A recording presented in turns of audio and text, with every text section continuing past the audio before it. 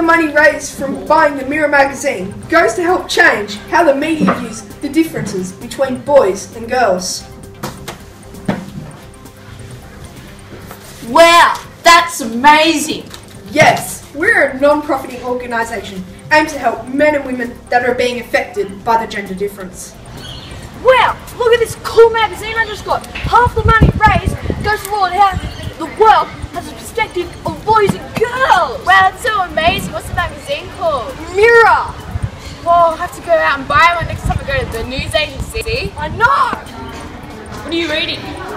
The new Mirror magazine. Sounds cool. What does it talk about? It talks about how we can help men and women that are affected by the gender gap and informs the general public that the media shows pictures and many other things that aren't always true. I always knew the media was up to something. Something needs to change. Petrol sniffers. Mirror magazine is brilliant. Go.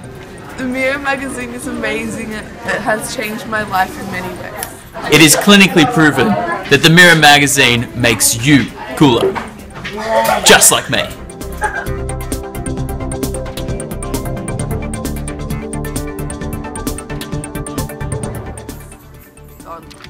Stop. Stop.